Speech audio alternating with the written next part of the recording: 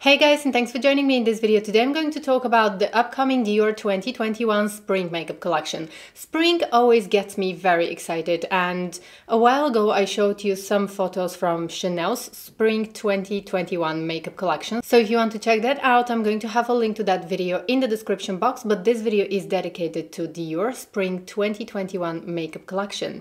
So let's go ahead and get started. If that's your first time on this channel, welcome. I'm so happy to have you here. Please consider subscribing subscribing. If you love luxury beauty and fragrances, I would love to have you as part of our lovely beauty community. So let's go ahead and get started. The first photos from Dior Spring 2021 makeup collection were released today and I can't wait to share with you everything. And a lot of you probably have noticed that Asia is the first place where brands start to release photos and they start to release new collections. So we have the photos thanks to some amazing girls from Asia and the photos were published on Instagram. And a huge thank you to Chic Profile for the heads up. She was the one who found first the photos. So in the description box, I'm going to have a link to her blog. I'm going to have a link to her Instagram and Patreon account. And also I'm going to link to the Asian accounts who were very kind to publish the first photos of Dior's makeup collection.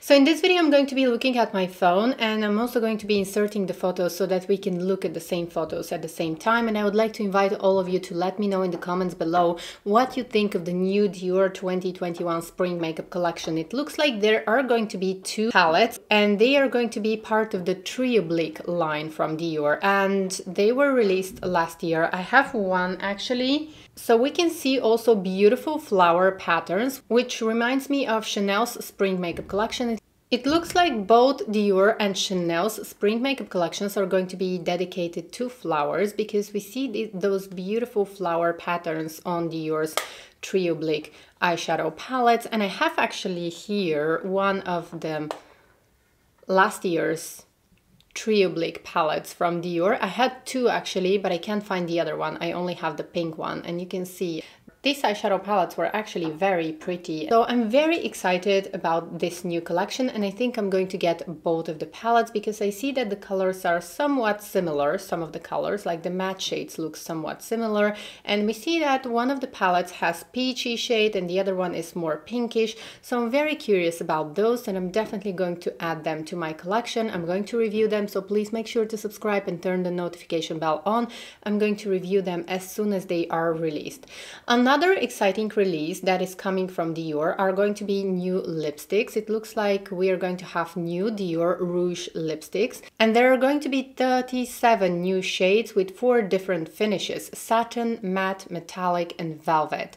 So I'm very curious to try those as well and they are going to launch in Asia in I think the beginning of January. We still we still don't have the complete information, but I think that the spring collections are usually launching in January or February. Also, there are going to be new lip oils that are going to launch separately. We still don't know exactly how many new lip oils, but it looks like the Dior lip oils had a huge success, and I think that that's why Dior decided that they are going to release new lip oils. And also, there is going to be a new Dior Rouge lip balm. I love the Dior lip gloss, and I often have a lot of Dior lip gloss in my makeup collection. And I don't know if I'm going to purchase the Dior Rouge lip balm because it looks like a clear lip balm to me. I'm probably going to purchase a couple of lipsticks to see how they feel, but I actually might skip the clear lip balm because I have so many lip balms.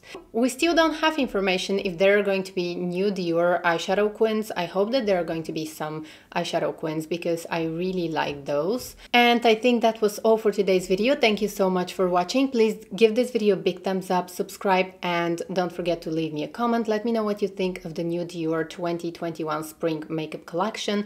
Are you excited about the new lip oils? Are you excited about the new eyeshadow palettes. Let me know what you think and I hope to see you in my next video. Take care. Bye.